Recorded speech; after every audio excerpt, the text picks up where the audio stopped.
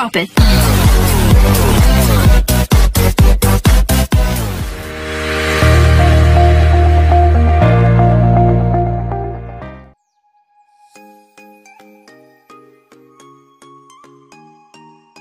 Assalamualaikum warahmatullahi wabarakatuh. Halo para sahabat Leslar di mana pun kalian berada Selamat malam, selamat berjumpa dan selamat bergabung tentunya bersama Mimin di channel Youtube Lesfat Channel. Channel yang akan menginformasikan kabar-kabar terbaru terupdate dan terhangat tentunya seputar Lesti Kejora dan Rizky Bilar namun bagi para sahabat yang baru menemukan channel ini jangan lupa untuk selalu mendukung channel ini yaitu dengan cara mengklik tombol subscribe dan hidupkan juga tanda lonceng notifikasinya supaya sahabat tidak ketinggalan kabar dan info terbaru dari Les Fat Channel.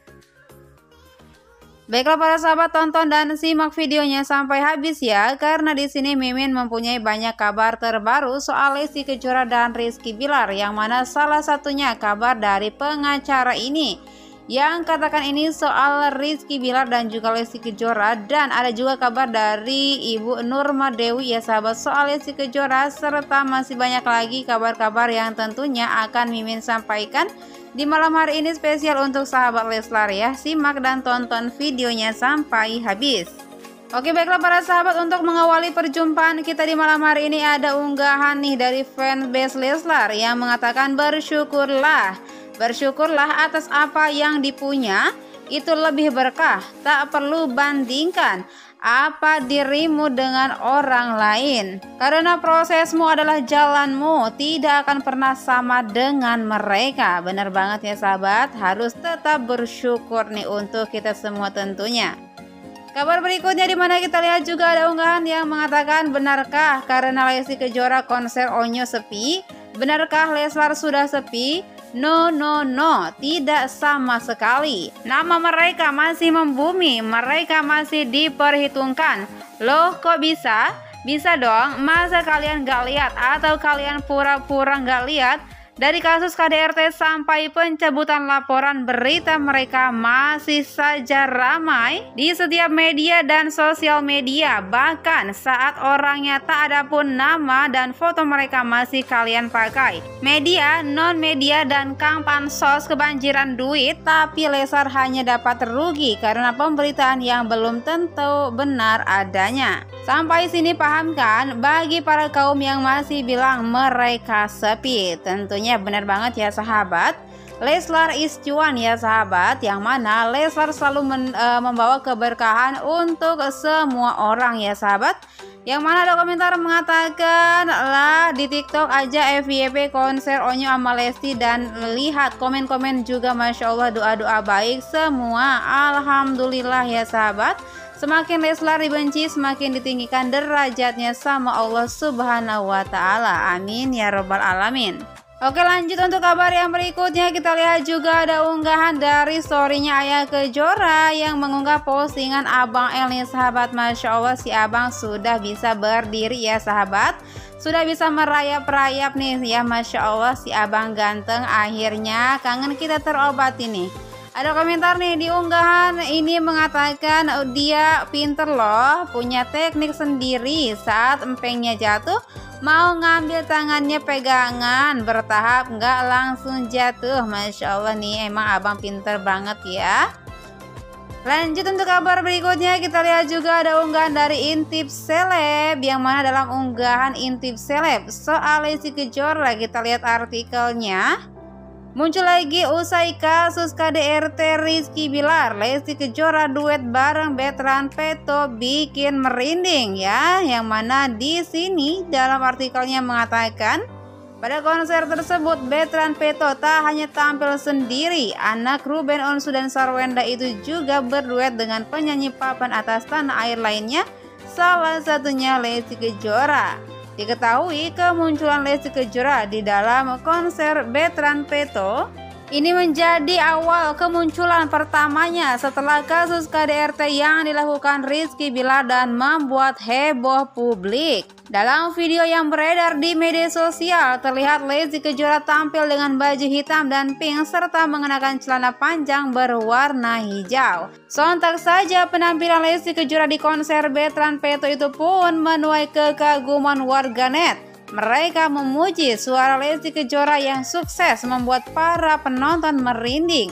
Merinding dede tulis netter Asli keren banget tulis netter nih sahabat ya. Semangat untuk Lesti Kejora. Lanjut untuk kabar berikutnya di mana kita lihat ada salah satu acara nih yang diisi oleh Hotman Paris nih ya Di mana dalam unggahan tersebut Hotman Paris menanyakan kepada Ibu Nurma Dewi terkait apakah pihak kepolisian eh, merasa kecewa dengan pencabutan yang dilakukan oleh Lesti Kejora saat Rizky Bilar sudah resmi menjadi seorang tersangka. Dan di sini Ibu Nurma Dewi pun menjelaskan bahwa pihak kepolisian dan juga dirinya tidak merasa kecewa dan juga tidak merasa dirugikan ya sahabat dan jawaban tegas lainnya diungkapkan oleh Ibu Nurma Dewi tersebut. Ada komentar mengatakan ambil positive thinking aja, semua keputusan ada pada hak Lesti dan kita bangga kepadanya. Apabila ada orang yang kecewa atau tidak itu pun hak mereka. Yang perlu digarisbawahi kenapa masalah ini sampai semua orang heboh karena Lesti satu-satunya artis yang fenomenal yang membawa keberkahan semua orang. Oke lanjut untuk kabar berikutnya. Kita lihat unggahan dari Indra Tarigan ya. Seorang pengacara dan juga firma hukum nih sahabat ya. Yang mana di sini dalam unggahan sang pengacara tersebut mengunggah postingannya bersama Isa Sega. Yang mana kita lihat ya bukan karena kasusnya bersama Isa Sega ini terkait unggahannya terkait Rizky Bilar. Kita lihat captionnya. Dari semenjak kasus Rizky Bilar naik, aku tidak pernah berhenti dihubungin wartawan atau media untuk wawancara. Tapi saya tidak pernah mau dan kalian bisa tanya kepada para media. Saya selalu menghindar, bahkan saya sampai dikejar-kejar hanya untuk memberi statement sekarang saya keluar memberikan statement karena saya sudah ditelepon dan berbicara mengenai beberapa statement yang seperti bola liar dan merugikan pihak Bilar. Apalagi dengan statement Satria yang tidak berdasar dan tidak benar adanya dan merugikan banyak pihak. Jadi apakah kalian masih bilang saya ini pansos? Saya cari rezeki bukan dari bidang ini dan saya punya pekerjaan yang jelas. Jadi tolong berpikir positif supaya kebaikan akan berbalik arah kepada kalian. Sekian dan terima kasih. Tulis Indra Tarigan di unggahan miliknya. Barbie Kumalasari langsung gercep memberikan emotikon api membara di unggahan Indra Tarigan tersebut soal dirinya ya yang dibilang pansos oleh beberapa orang ya terkait kasus KDRT Rizky Bilar dan juga Lesti Kejora ya sahabat. Dan tentunya kita hanya selalu mendoakan yang terbaik untuk idola kita. Semoga selalu dalam lindungan Allah Subhanahu wa taala ya sahabat dan tentunya itu saja kabar update yang bisa Mimin sampaikan di malam hari ini. Terima kasih sudah menonton dan wassalamualaikum warahmatullahi wabarakatuh.